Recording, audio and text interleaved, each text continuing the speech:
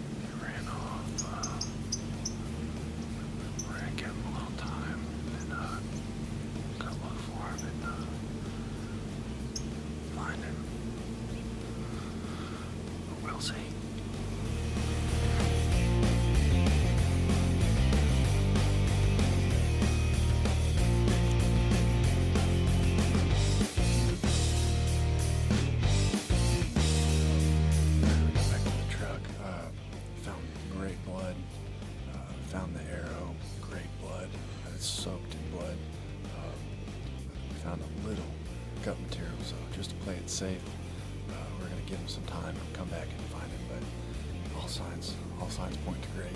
Um, and I, I was a quarter and away shot. I felt really good about the shot, so um, I think it's, I think it's gonna be good. We're just gonna play it safe. Come back. and Given it about six hours, uh, we were looking at some of the footage, and looks like my shot was not as good as I was hopeful for. It was a little back, so we're gonna sneak in here and just treat this deer like it's still alive. And so we're gonna uh, stalk in here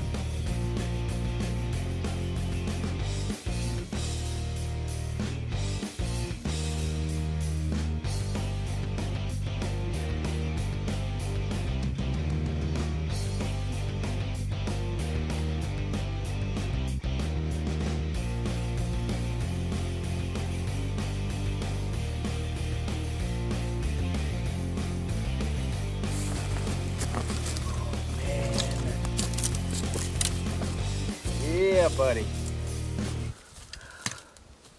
My first buck. Check it out. All right. That is awesome. He's beautiful. Beautiful. Man, that's unbelievable. I think the waiting paid off. He, he tracked about, I don't know, a few hundred yards and, and laid down and he's been here for a while. We let him lay for six hours, but uh, that's awesome. Man, that's, that's awesome. That's awesome. He's a beautiful, beautiful buck. Oh man. That's, that's unbelievable. Oh, I'm disappointed in my shot, but it worked. so, so I can't, it couldn't have been that bad, right? That's awesome. I can't wait to get him home cleaned up, get some deer sausage, and get my first antlers on the wall. I'm pumped. Awesome. All right, hunt number three. We're running late, so we're on the way in a hurry. We found the buck, so we got done cleaning it. We decided to just hurry up and make the evening hunt. We're gonna try to get a pig. We've been seeing nothing but pigs at this stand, bunch of them. So we're pretty optimistic. I'm pumped. I'm happy as can be right now. I got my first good buck, my first buck with